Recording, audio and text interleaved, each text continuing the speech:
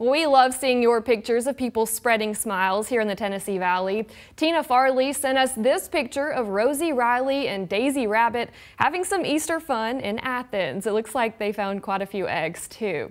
And Richard and Connie Long sent in this photo of George in his Easter bonnet and duck jammies. I mean, that is just too cute. Well, we want to see your pictures of people spreading joy so we can put them on air and online. Just send them to 256 382 2692.